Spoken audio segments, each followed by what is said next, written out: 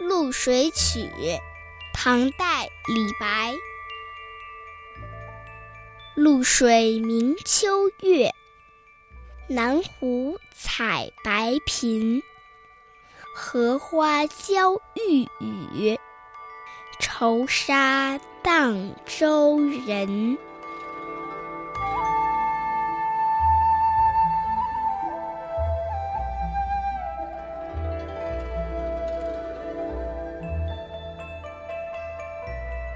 清澈的湖水在秋夜的月亮下发着光。我来到洞庭湖畔采白萍，荷花的姿态娇媚，好像有话要对我说。这，可愁坏了摇船的人。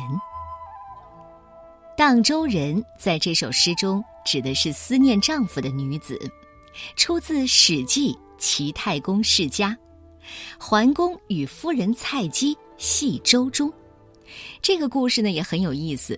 有一次啊，这齐桓公和蔡夫人一起泛舟，夫人会游泳，这齐桓公不会，见水就害怕。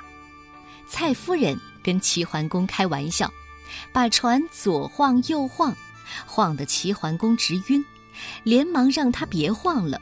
可这蔡夫人不听，继续晃着。等小船靠了岸，齐桓公一怒之下。就把这个不懂事的蔡夫人轰回了娘家。